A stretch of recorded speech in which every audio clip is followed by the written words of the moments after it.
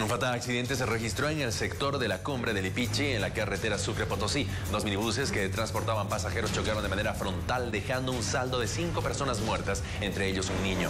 El hecho ocurrió a las 2 de la madrugada en el sector Sorata. Según se conoció, las personas retornaban del festejo por carnavales en las minas de San Pablo de Yani. Personal médico y la policía rescatan los cuerpos del vehículo.